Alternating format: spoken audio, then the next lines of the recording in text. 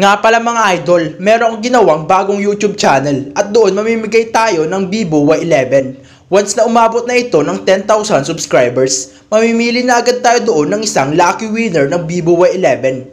Ang kailangan mo lang gawin ay subscribe to channel link down below. Hit the bell and syempre mag-comment ka rin ng kahit ano para masali ka sa ating giveaway. And don't worry mga idol, tuloy pa rin ang ating giveaway sa ating FB page ng Realme C11 once na umabot ito ng 20,000 followers. Ang video na ito ay hindi ko tinitiyak kung fan-made ba o totoong kaganapan sa winter tournament. Nabasa ko lang to sa isang libro na kung saan parehong author din ang nagsulat ng Iowa Academy versus Shohoku. At gaya nga ng sinabi ko, nabasa ko lang to sa isang libro at hindi nakamanga version. O sa madaling sabi, walang animated pictures na naka-indicate. Anyway, bago natin simulan to, pasok ko lang muna intro ko mga idol.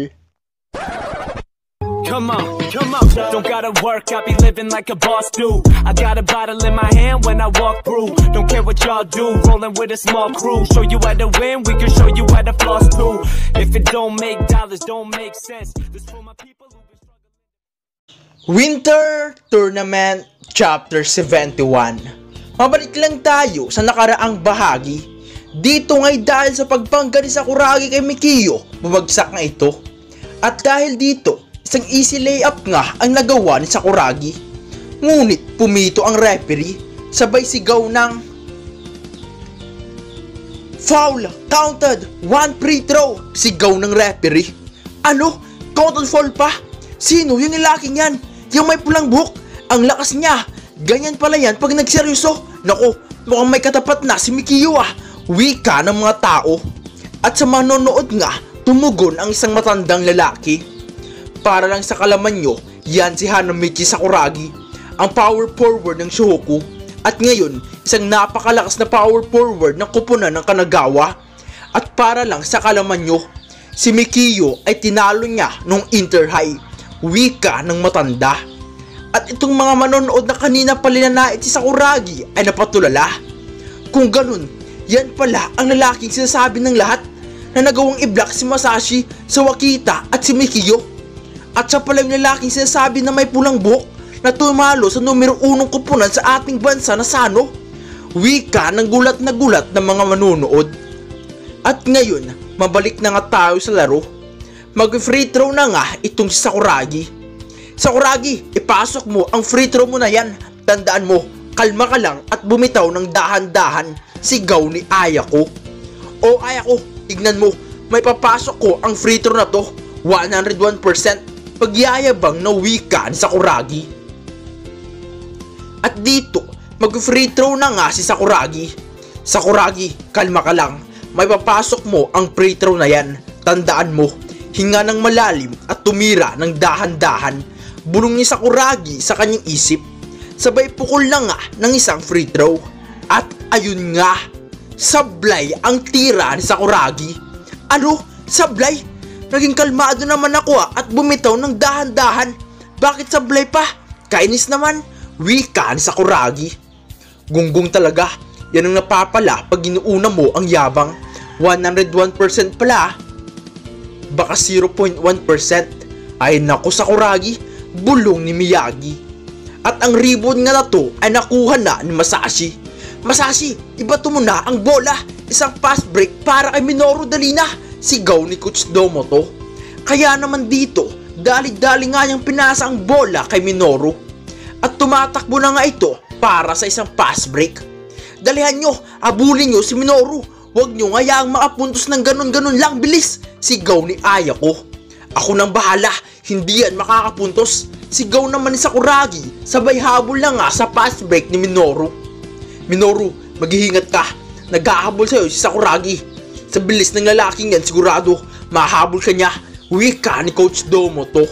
At dito, isang easy layup na lang sana ang gagawin ni Minoru. Nang biglang sumulpot si Sakuragi sa taas. Huli ka Minoru, sa tingin mo saan ka pupunta?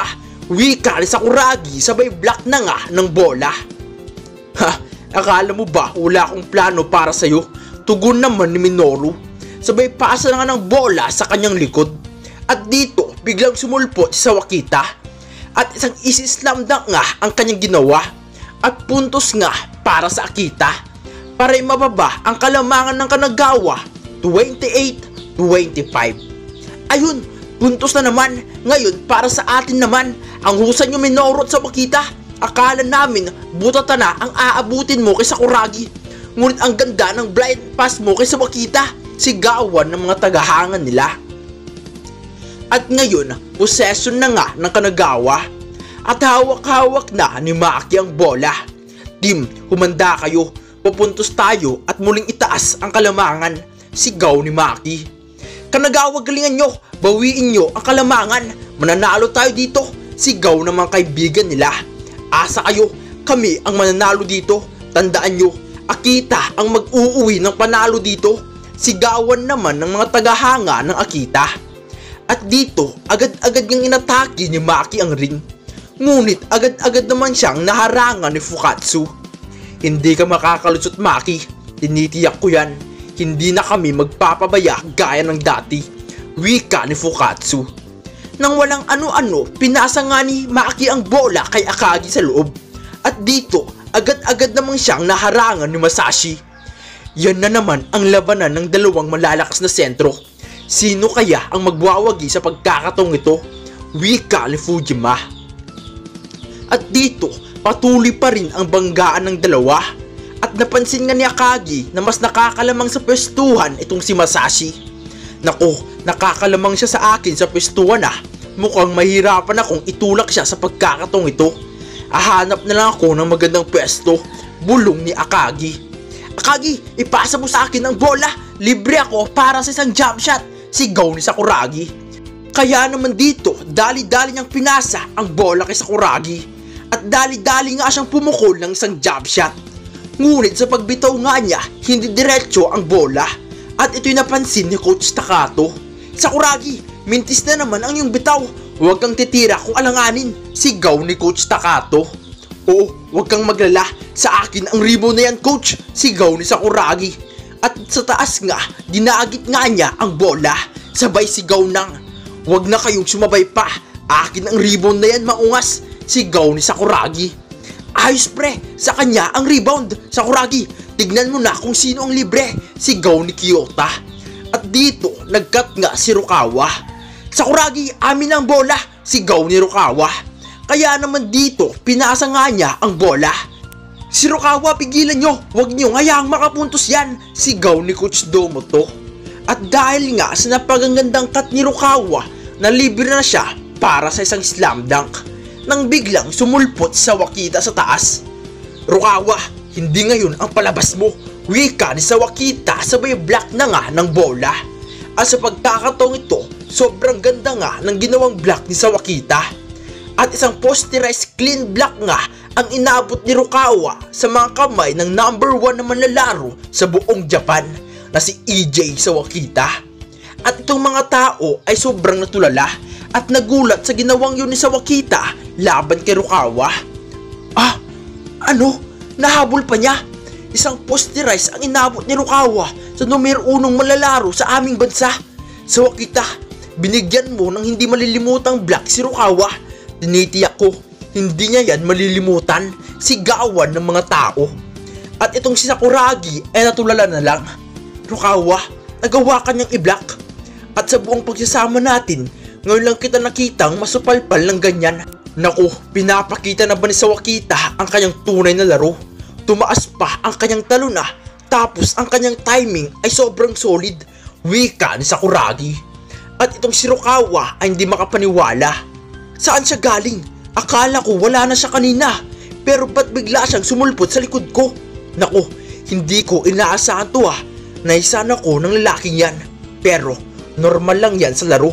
Basta huwag kang susuko. Pababagsakin ko pa ang lalaking yan. Maaga pa lang kaya wag muna kayong magdiwang. Babawian pa kita sa wakita. Itaga mo yan sa bato. Bulong ni Rukawa na imbis panginaan ng loob ay mas lalo pang tumapang at sobrang nanggigigil na bawian si Sawakita. At ayun nga, isang posterized block nga ang inabot ni Rukawa sa kamay ni Sakuragi. Ngunit dahil dito, mas ginanaan pa siya maglaro. Makakabawi pa kaya si Rukawa kay sa Wakita? Abangan natin sa susunod na bahagi.